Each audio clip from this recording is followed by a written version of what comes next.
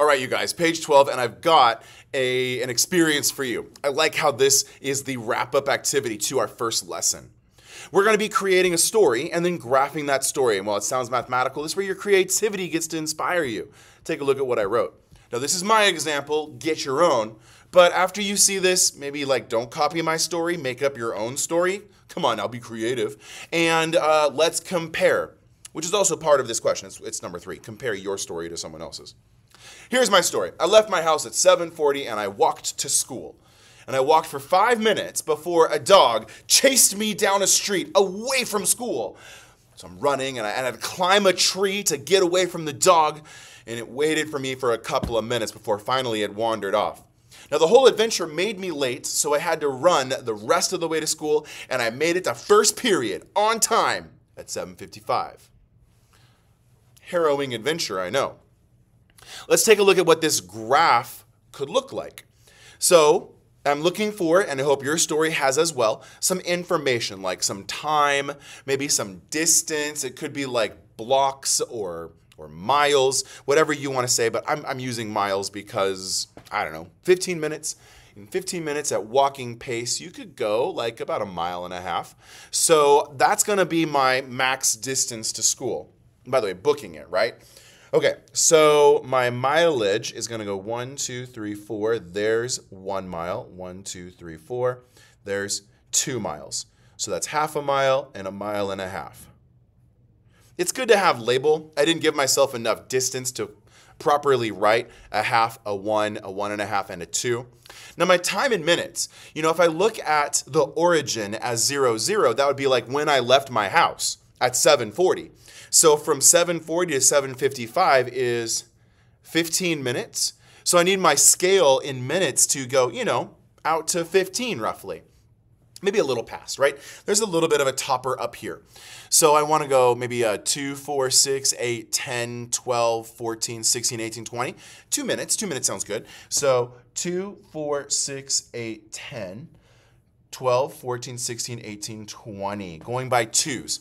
I thought threes, but then that'd be a really compressed graph. And I want my line to go through the middle of the graph, like grid area, and not be smushed over to the left side of the graph. And ones didn't work. It wouldn't have been enough distance. So going by two minutes.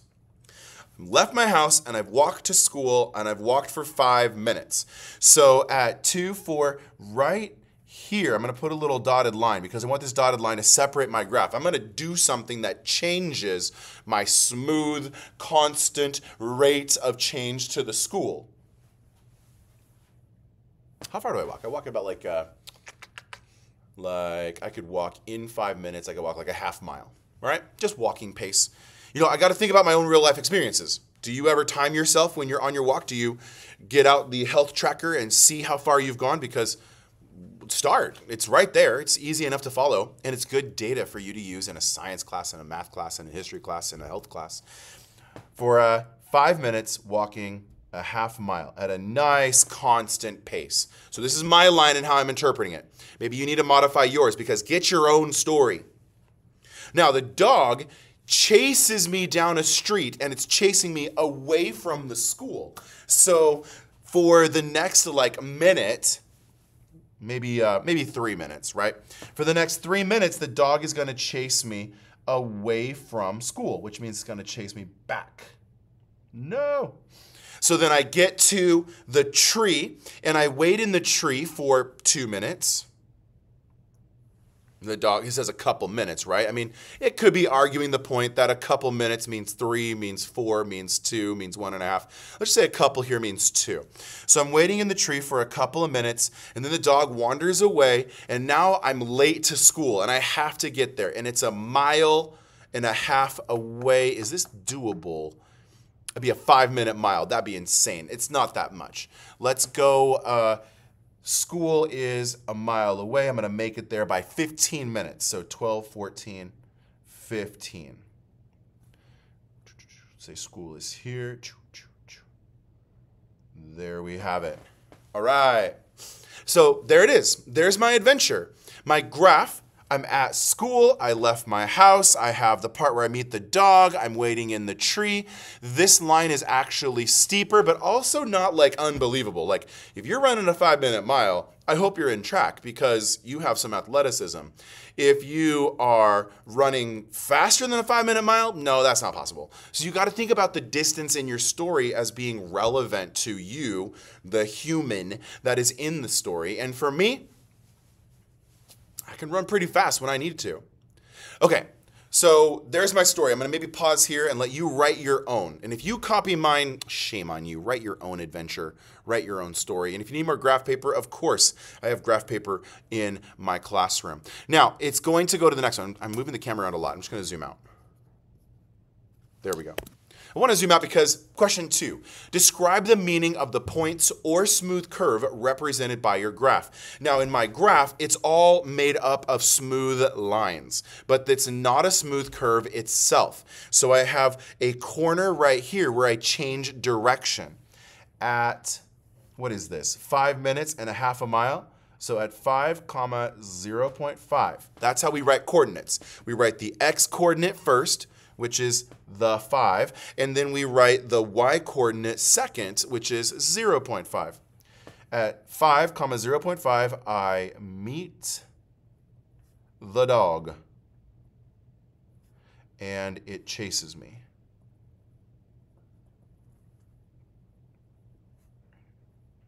Okay, by eight minutes, I'm a quarter mile back. So I ran back. I mean, we're going pretty fast right now. You know, three minutes, quarter mile. Here we go. So I meet the dog and it chases me. Chases me. At 8, comma 0.25, I climb the tree to get away. At 10, comma 0.25, the dog gets bored and leaves.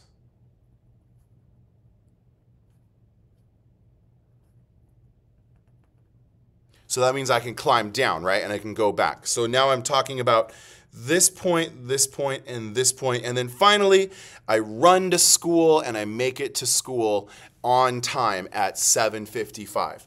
So from 10 to 15 minutes, by the way, I'm running to school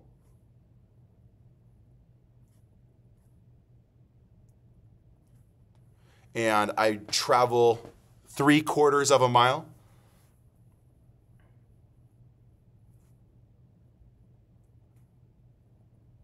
Now I know it's three quarters of a mile because from here at a height of 0.25 miles to here, that was the three quarters in distance. So there you have it. There's my story. I've analyzed a story in mathematics, and then I've got uh, each of the important characteristics. Um, I might even want to put in there from uh, five to eight, from five minutes to eight minutes, my curve.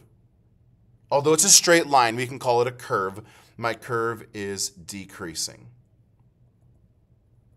which should also make sense because if my curve is decreasing, I'm running away from school, not towards school, because every direction has been distance traveled towards school. Mm, I'm gonna need to pause right here. Distance traveled towards school. I adjusted that right now my title and back to it. I'm going to leave number three blank because you need to compare your scenario to a sketch of your classmates. And you need to do this analysis of what's happening at a specific coordinate. What's happening at that specific coordinate? Are you increasing faster in one interval than another interval? That's a math word I need. Um, we have these things that are going to define the mathematics of the story. Thank you for watching, commenting, liking, and subscribing. There's no video, for those of you that made it this far, thanks so much for being here. There's no video for the lesson one assignment.